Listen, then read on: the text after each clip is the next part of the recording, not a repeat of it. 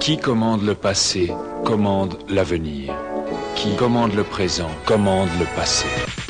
Lorsque l'orgasme sera enfin éradiqué, le dernier obstacle qui s'opposait à l'acceptation psychologique du principe de Langsock dans le processus de l'ARSEM sera surmonté. En d'autres termes, la tendance non orthodoxe à vivre replié sur soi, qui constitue une menace constante à l'érosion de la cellule familiale, n'aura plus l'appui biologique l'organisme.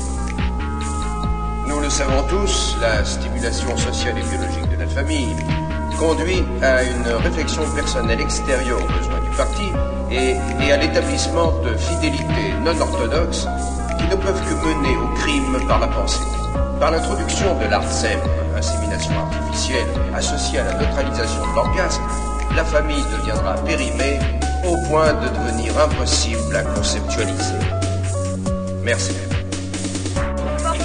Et la non-vérité. La liberté, c'est la liberté de dire 2 plus 2 égale 4. Quand cela est accordé, tout le reste suit. S'il y a un espoir, il réside chez les prolétaires. S'ils pouvaient prendre conscience de leur propre force, ils n'auraient pas besoin de conspirer. L'histoire ne compte pas pour eux. S'il y a un espoir, il réside chez les prolétaires. S'ils pouvaient prendre conscience de leur propre force, ils n'auraient pas besoin de conspirer. L'histoire ne compte pas pour eux.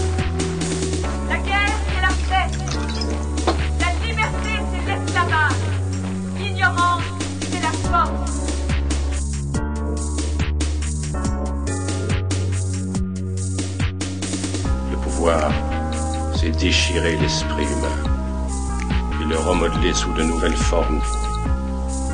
Le pouvoir n'est pas un moyen, c'est une fin. Il n'y aura plus que triomphe et abaissement. Le passé est à jamais banni. Pourquoi? Simplement parce que si l'on coupe l'homme de son passé, alors on peut le couper de sa famille, de ses enfants, des autres hommes. Il n'y a aucune fidélité, excepté envers le parti. Il n'y a aucun amour, excepté pour Big Brother. Tous les plaisirs de l'émulation, nous les détruirons. Si vous voulez une image du futur, Winston, imaginez une botte qui piétine un visage humain à jamais. Une botte qui piétine un visage humain à jamais. Tout se fond dans la brume. Le passé est biffé et la biffure oubliée. Le mensonge devient vérité, puis redevient mensonge.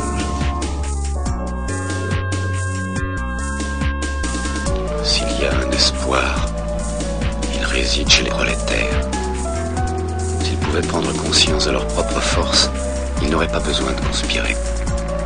L'histoire ne compte pas pour eux. S'il y a un espoir, il réside chez les prolétaires. S'ils pouvaient prendre conscience de leur propre force, ils n'auraient pas besoin de conspirer. L'histoire ne compte pas pour eux. Selon les principes de la double pensée, peu importe que la guerre ne soit pas réelle, ou si elle l'est que la victoire ne soit pas possible, la guerre ne vise pas la victoire, elle vise à être continuelle. L'acte essentiel de la guerre moderne est la destruction du produit du travail humain. Une société hiérarchisée n'est possible que si elle s'appuie sur la pauvreté et l'ignorance. En principe, l'effort de guerre a toujours pour but de conserver la société au bord de la famine. La guerre est menée par l'oligarchie contre ses propres sujets. Et son objet n'est pas de remporter la victoire sur l'Eurasia ou l'Estasia, mais garder la structure même de la société intacte.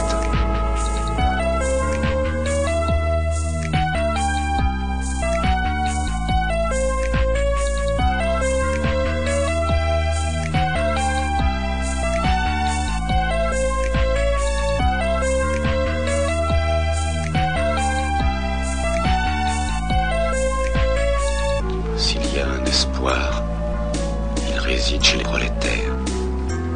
S'ils pouvaient prendre conscience de leur propre force, ils n'auraient pas besoin de conspirer. L'histoire ne compte pas pour eux. S'il y a un espoir, il réside chez les prolétaires. S'ils pouvaient prendre conscience de leur propre force, ils n'auraient pas besoin de conspirer. L'histoire ne compte pas pour eux.